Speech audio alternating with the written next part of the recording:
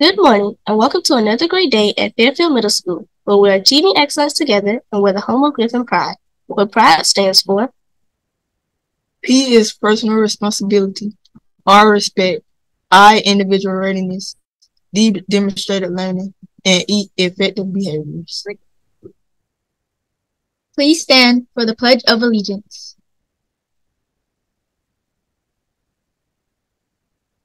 I pledge allegiance to the flag of the United States of America and to the republic for which it stands, one nation, under God, indivisible, with liberty and justice for all.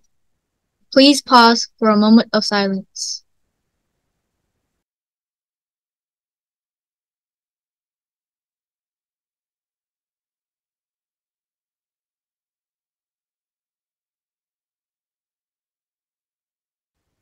Thank you. You may be seated.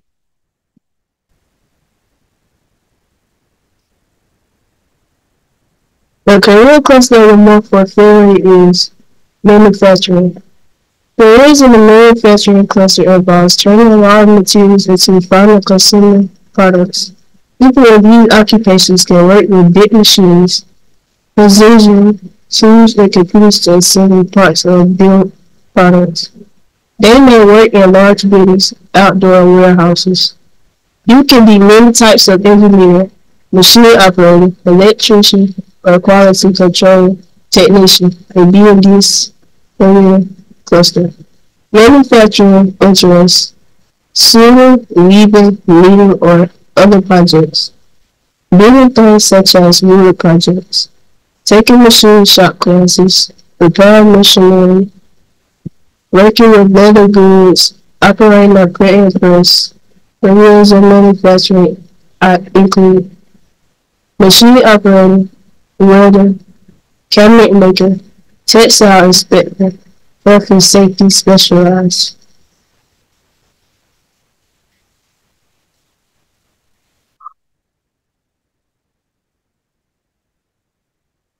The college highlight for February is South Carolina State University.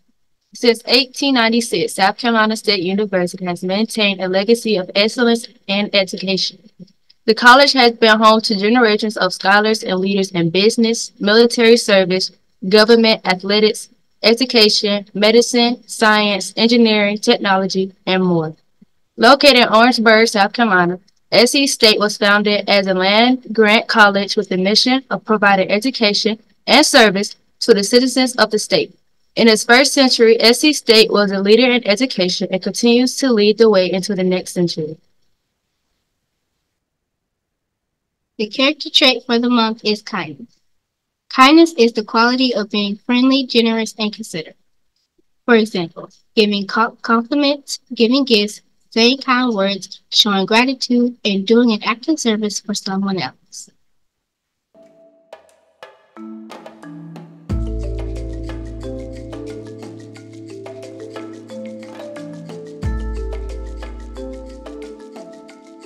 Black History Month 2024.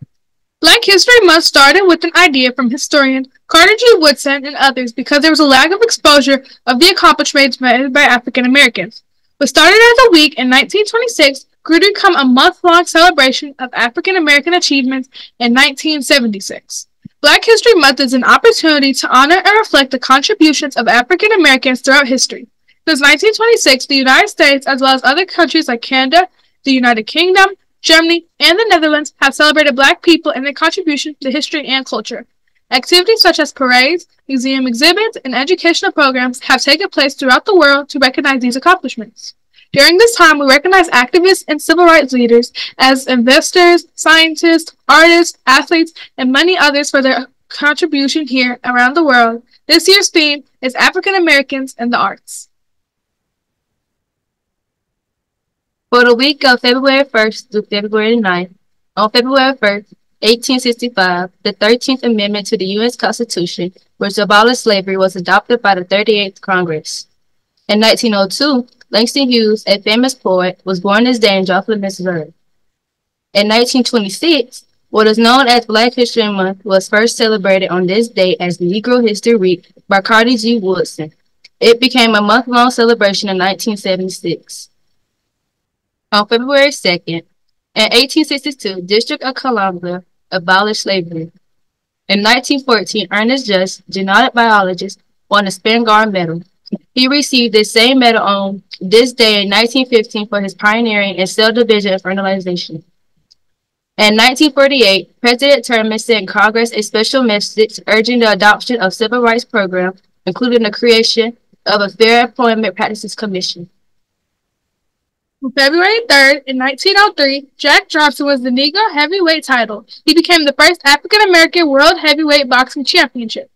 In 1920, the Negro Baseball League is founded. In 1920, an organized league structure was formed under the guidance of Andrew Rube Foster, a former player, manager, and owner for the Chicago American Giants. In a meeting held at the Paseo YMCA in Kansas City, Montana, Foster and a few other Midwestern team owners joined to form the Negro National League.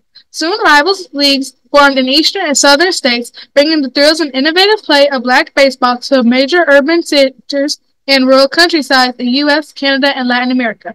The leagues maintained a high level of professional skill and became the centerpiece for economic development in many black communities. February 4, 1913, Rosa Parks, born Rosa Louise McCauley, was born on this day. 1996, J.C. Watts became the first black selected in response to a State of the Union address. In 1990, Watts became the first African American selected to statewide office in Oklahoma, where he won a seat on the Oklahoma Corporation Commission, the state's regulatory body for public utilities. He was elected to the U.S. House of Representatives in Oklahoma's larger rural and white fourth congressional district in 1994. In 1997, he was the first African American to deliver a party's response to the President's State of Union address. He was selected chairman of the House of Republican Conference the following year. On February 5th, in 1866, Congressman Thaddeus Stevens offered an amendment to Freedmen's Bureau Bill, authorizing the distribution of public land and confiscated land to freedmen and loyal refugees in 40-acre plots. In 1958, Clifton R. Wharton S.R. confirmed as minister to Romania. This career diplomat was the first black to head a U.S. embassy in Europe. In 1962, a lawsuit seeking to bar Englewood, New Jersey, from maintaining racial segregated elementary schools filed in the U.S. District Court. On February 6, 1820, Mayflower of Liberia sailed from New York City with 86 blacks the Mayflower of Liberia sailed from New York City aboard the ship the Elizabeth, which was called the Mayflower of Liberia. They were bound for the British colony of Sierra Leone. In, 19, in 1867, Robert Tanner Freeman was the first African American to receive a degree in dentistry from an academic institution. Freeman was born around 1846 in Washington, D.C. He trained under Dr. Henry Bliss Noble, who encouraged him to formally train for a dental career.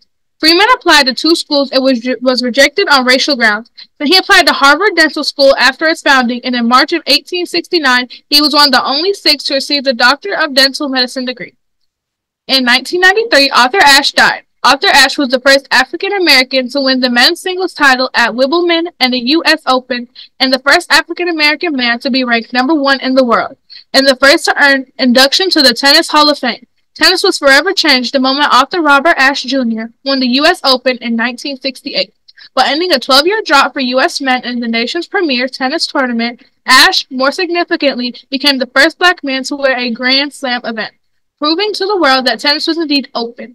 Arthur Ashe Stadium is a tennis arena at Flushing Meadows, Corona Park in Queens, New York City. The stadium is named, named after Arthur Ashe.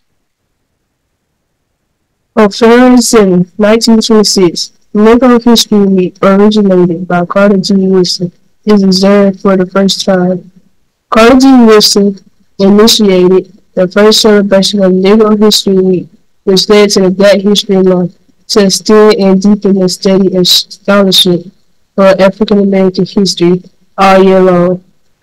It is commonly said that Woodson selected February to accompany the birthdays of two great Americans who played a prominent role in shaping black history, namely Abraham Lincoln and Frederick Douglass, whose birthdays are the 12th and the 14th, respectively. More importantly, he chose them for reasons of tradition. Since Lincoln's assassination in 1865, the, the black community, along with other Republicans, had been celebrating the following president's birthday. And since the late 1890s, black communities across the country had been celebrating W's birthday. We're aware of pre-existing celebrations. Wilson built Negro History around traditional days of commemorating the black past. On February 8th. In 1944, Harry S. McAlpin became the first African American to be accredited to, the, to attend the White House press conference. In 1986, Oprah Winfrey became the first African American woman to host a national syndicated talk show. Syndicated nationally in 1986, the program became the highest rated television talk show in the United States and earned several Emmy Awards. The final episode of Oprah Winfrey Show aired on Wednesday, May 25th, 2011.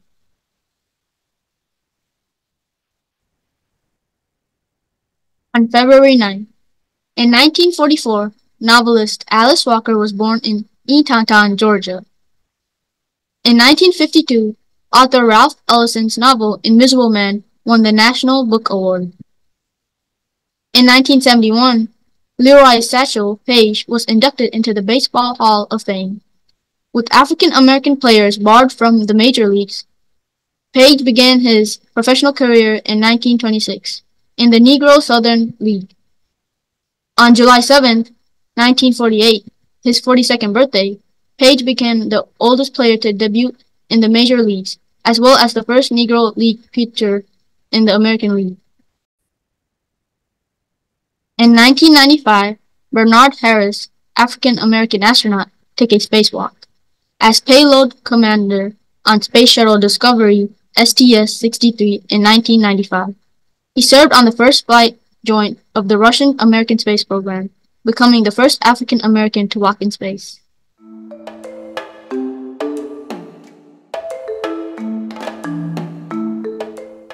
As we recognize National School Counseling Week for the week of February 5th through the 9th, do not forget to take the time to thank our guidance counselor, Miss Gamble, for all the things she does to help each of us be successful. Good morning. My name is Billie Jean, and today is the first day of National Coun- School Counseling Week. The theme of this year's week is School Counselors, Standards-Based, Student-Focused. Did you know that Ms. Gamble has standards for school counseling, just like our teachers have standards for learning? A standard is basically a way to measure excellence or quality.